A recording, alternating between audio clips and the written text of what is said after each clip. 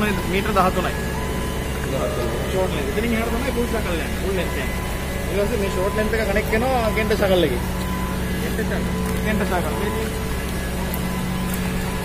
කාර බැලුවහම පේන මේ පොඩි කෑල්ලක් තියෙන මීටර 13යි. ඔව්, ඔව්, ඔව්. එතනින් එහාට යනවා කෙලින්ම 27.5 ගානේ තමයි හැම එකම යන්නේ.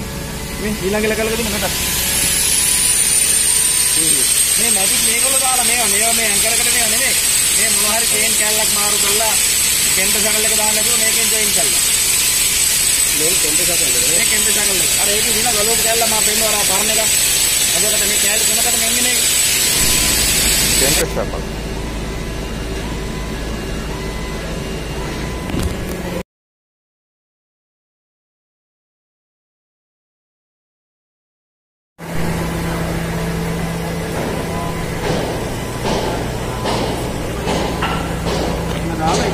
ඊට පස්සේ මේක දාලා ලොක් කරලා මේ පින් එක කරුවා මේ මේ තුනම අහුවෙන්න තමයි පින් එක.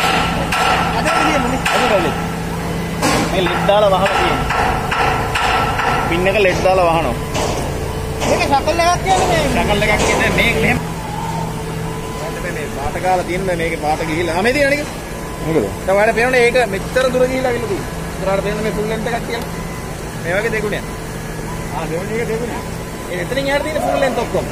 ෆුල් ලෙන්ත් කියන්නේ පළවෙනි එකට විතරයි ෂෝට් ලෙන්ත් එකක් තියෙන්නේ. ෆුල් ලෙන්ත් කියන්නේ අර ෆුල්? ලෙන්ත් යන්නේ 27.5. ඒ ඩී ෂකල් එකේ චේන් එකකම බලෙක් කරලා පස්සේ චේන් කැල්ල මාරු කරන්න ඉතින්. මොකක් හරි ජවරියක් ගහලා තියෙන ඉස්සෙල්ලා. මේක කෙන්ට ෂකල් එක. සමහරවල් කියන ලග් ජොයිනින් ෂකල් කෙන්ට ෂකල් තමයි ස්ටෑන්ඩඩ් නම. ප්‍රාණි හරියන්නේ ඔව් ඒ ඒ අන්තිම මුහුදට වැටෙන ටික මේක හැමතිස්සෙම චේන් ලොකර් එකේ තියෙනවා. ආ නෑ ඒක ඇතුළේ තියෙන ටික සෝරි. මේක මුහුදට වැටෙන ටික ඒක හොඳට තියෙනවා.